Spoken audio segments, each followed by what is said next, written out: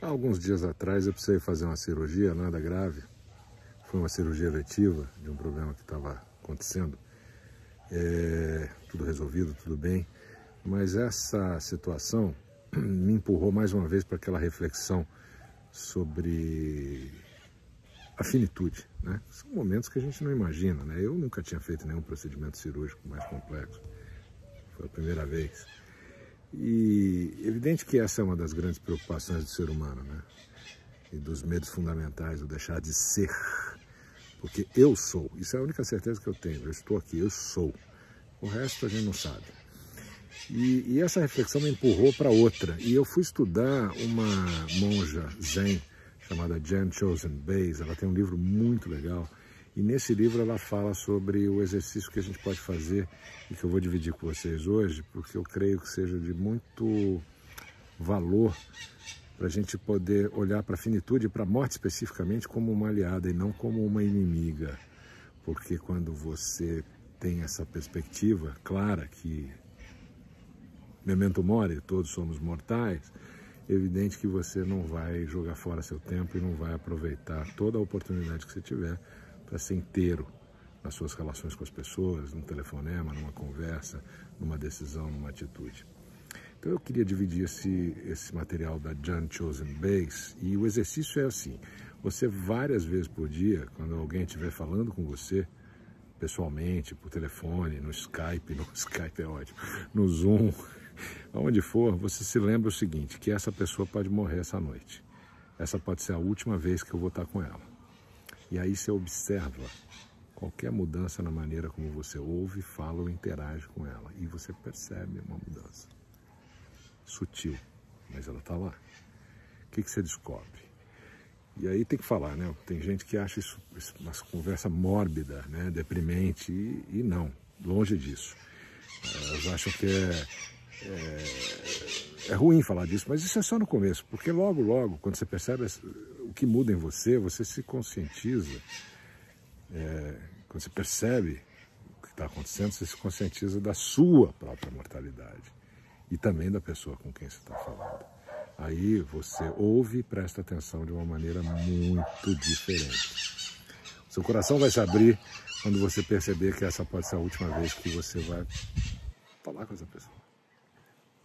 Quando a gente conversa com as pessoas, especialmente com as pessoas que a gente vê diariamente, é, todo dia, tudo ali, né, aquela rotina, a gente se distrai. É fácil se distrair, a gente ouve só pela metade, a cabeça está pensando em outra coisa, né? olha para o lado.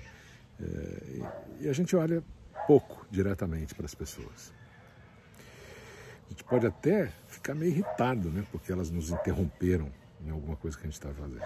Então, precisa perceber que essas pessoas né, podem morrer, porque aí eu posso olhar para elas novamente, de outro jeito.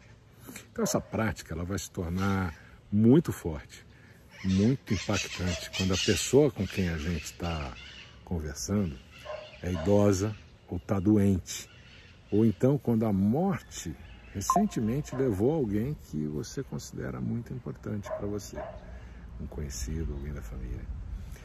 Eu não sei se você sabe que tem uma tradição japonesa que quando eles se despedem de alguém, eles ficam respeitosamente de pé, observando e acenando até que o carro, o trem ou a pessoa no embarque do aeroporto desapareça de vista. Esse costume tem uma origem na consciência de que essa pessoa pode ser é, vista pela última vez naquele momento. Então, como é que você se, se sentiria né, se no último encontro com seu filho, parceiro, seu pai, sua mãe fosse temperado com impaciência, com raiva? Como é reconfortante a gente saber que a gente pode ter se despedido com carinho. Tem algumas lições mais profundas nisso que a Jan Chosen Base fala que, embora a doença, a velhice e a morte cheguem para todo mundo, todos nós, a gente leva a vida como se isso não fosse verdade para nós ou para aqueles com quem a gente convive. Não, isso só acontece com os outros. Então, pessoal, essa prática vai ajudar a gente a romper com essa negação de que a vida humana é muito frágil. Ela de fato é frágil e que a morte pode chegar a qualquer momento. Basta ter uma pequena alteração no nível de potássio no sangue. Uma bactéria que seja muito virulenta, um motorista que vem no sentido contrário e adormeceu na direção, um padrão elétrico diferente, estranho no nosso coração. E às vezes, esse véu da negação, ele vai se levantar. E aí a gente vai poder ver a verdade sobre a fragilidade da vida humana. Como quando um colega de trabalho ou um membro da família é diagnosticado com uma doença que é fatal. Ou quando alguém da nossa idade ou mais jovem morre de forma inesperada.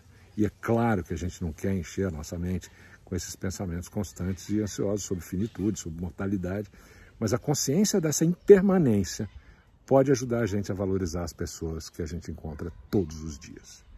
Quando eu tiro essa camada, esse véu da frente, quando ele se abre e a gente experimenta a verdade de que toda a vida humana é breve, as nossas conversas mudam. Então, em vez de falar para alguém, com a mente cheia de outros pensamentos, a gente traz mais presença a cada encontro. Essa atenção silenciosa é uma ocorrência extremamente incomum no mundo dos seres humanos comuns, nesse nosso dia a dia. Pouca gente faz isso. Então, a gente vai dormir todas as noites com uma confiança, uma certeza total de que a gente vai acordar no dia seguinte. Nem valoriza isso. Quando a gente percebe que também a gente pode morrer essa noite. Nesse momento eu posso me tornar mais presente, mais vivo em cada minuto.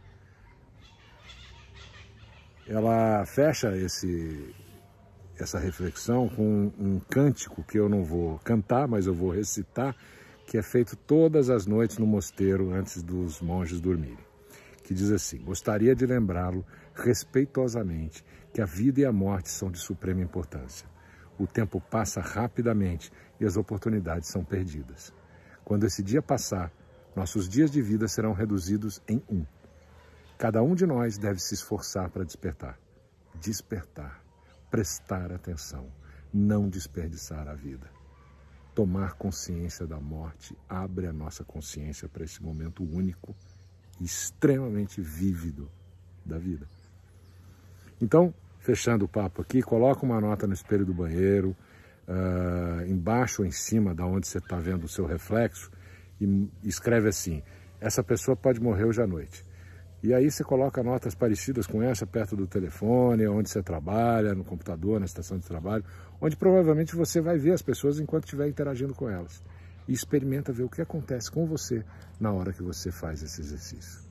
Cabeça aberta, sem preconceito. Que o flow esteja com você. Boa semana!